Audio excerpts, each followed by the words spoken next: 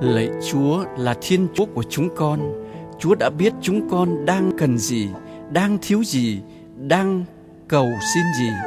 Mong đợi nơi Chúa những gì trong giây phút chúng con đang hiện diện nơi người thân chúng con vừa được Chúa gọi về. Xin Chúa hãy thứ tha lỗi lầm của linh hồn người quá cố để xứng đáng được hưởng vinh quang của Chúa đến muôn đời. Lạy Chúa, chúng con tin sự sống thật của mỗi con người chúng con phải trải qua từ cuộc sống tạm bợ để đi đến đời sống trường sinh. Từ đời sống cũ bước vào cuộc sống mới.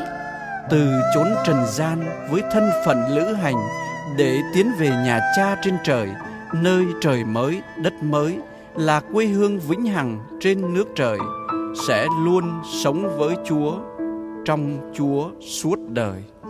Xin cho người thân của chúng con đã sống hết kiếp tạm bợ, đã đi hết quãng đường trần, được sớm về hưởng nham thánh Chúa trên nước trời hằng sống.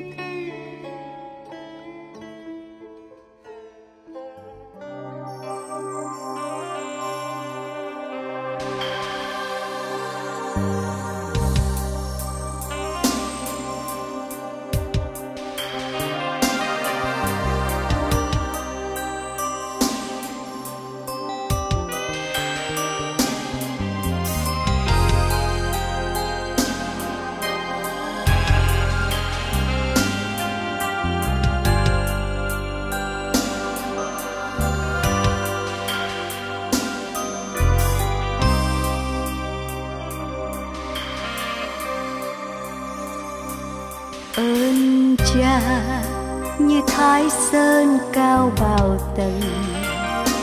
Ngoài tí cương quyết mà lòng thương mến, ơn cha như đuốc cao soi trên đường, đuốc soi tâm hồn, dắt con tìm hướng. Ơn bóng cây xanh trên ngàn. Tình cha tha thiết, lòng cha âu yếm. Ơn cha như mái hiên che nắng trường. Gió mưa xa gần, nắng mưa không sơn nào những khi còn buồn, người đến bên bàn tay xóa trên mái tóc mến thương. Đôi lúc cha khuyên con, trong những khi sai lầm, thì còn bàn tay cương quyết nào hơn? Ơn cha, như nắng soi trên cuộc đời, người cho ánh sáng người cho lẽ sống. Ơn cha, hai tiếng yêu thương vô vàn sẽ không phai tan với bao năm trường.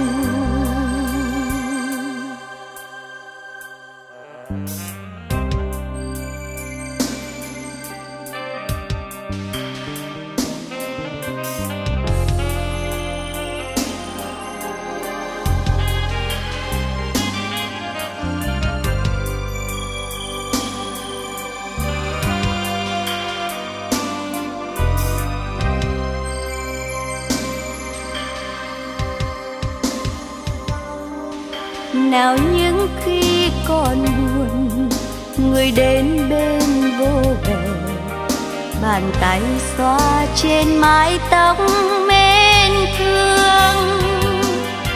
Đôi lúc cha khuyên con, trong những khi sai lầm, thì còn bàn tay cương quyết nào hơn ơn cha như nắng soi trên cuộc đời.